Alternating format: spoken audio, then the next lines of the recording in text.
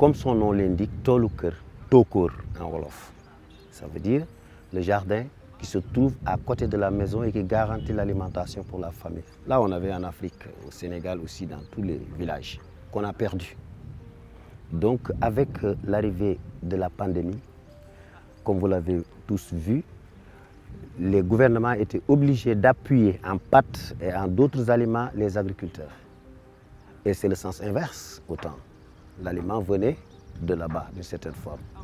Alors, nous, au niveau de l'agence, on a très rapidement compris qu'il fallait faire une des actions dans ce sens. Une synergie s'est faite et on a mis sur pied le qui n'est rien d'autre que dans un espace de 5000 m2 qui est demi-hectare, on conjugue à peu près une quarantaine d'espèces d'arbres, d'arbres, de cycles courts, de cycles moins. Et de cycles courts, ici on voit les, les aubergines, etc., les papayers de cycle moins. On a les fruitiers, on a les manguiers, on a les carossoliers, tous installés, les ombragers, les fertilitaires de sol, agencés d'une forme à garantir une forêt nourricière. Cette euh, initiative, elle est installée d'une forme participative avec la population dans ce cadre précis de l'hôpital. Nous l'avons fait avec les Khayundawi, qui est un programme aussi où l'agence a 7000 jeunes à former.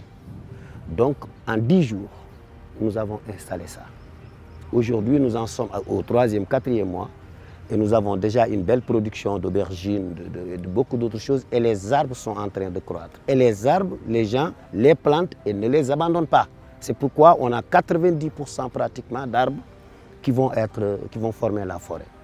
Donc, ce qui nous permet, dans un très futur, très proche, de garantir une autosuffisance avec, au niveau des, des, des, des, malades qui sont, euh, ou, même le personnel de l'hôpital, parce que c'est des produits qui n'utilisent pas des produits chimiques. Les plantes là, ils n'utilisent pas des produits chimiques. Donc c'est une alimentation saine pour les malades de l'hôpital, ce qui va jouer beaucoup sur leur santé.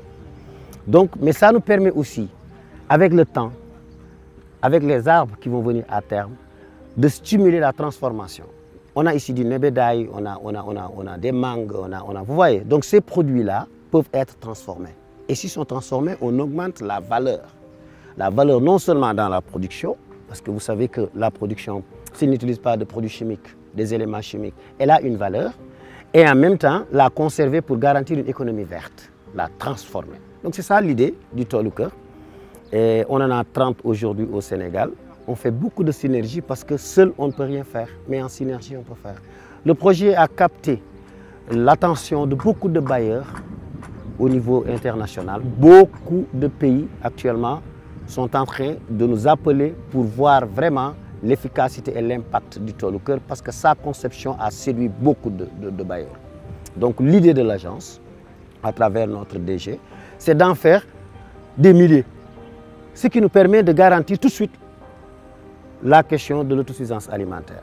Et puisqu'on a les Khaïndawi, ça nous permet de le faire d'une à grande échelle. Donc ça, c'est une discussion interne. Je pense qu'on est convaincu de l'impact du Toluker, environnemental, socio-économique, culturel, parce qu'on plante des arbres que nous connaissons et qui sont adaptés ici. Ce qui fait que nous n'utilisons pas de produits chimiques. Parce qu'il faut se rappeler, hein, euh, je le disais tout de suite, on sort ici toutes les tables que nous voyons, tu vois que des pommes, des mandarines qui ne sont pas produites ici. Pourtant, on a des produits de grande qualité qui font partie de notre bioma. C'est-à-dire aujourd'hui, nous avons le bouilli, nous avons le dank, nous avons le houle, nous avons le nebedaï, nous avons beaucoup d'autres produits qui ont une grande valeur et le monde étranger est en train de l'exploiter et nous, on devient toujours comme d'habitude des gens qui courent derrière. Donc nous, dans les Toluker et dans l'agence, l'idée c'est de valoriser ces produits, de les transformer et d'offrir au monde des produits sénégalais, de la, de la biomasse sénégalaise et qui ont une valeur et qui créent de l'emploi.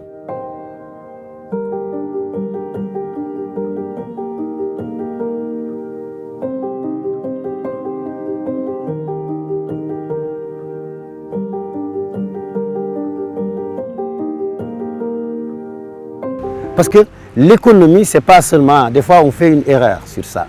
L'économie, ce n'est pas seulement je mets des salades, je les coupe, je vends et j'ai de l'argent ou j'en ai pas, ou etc. Non, non, non.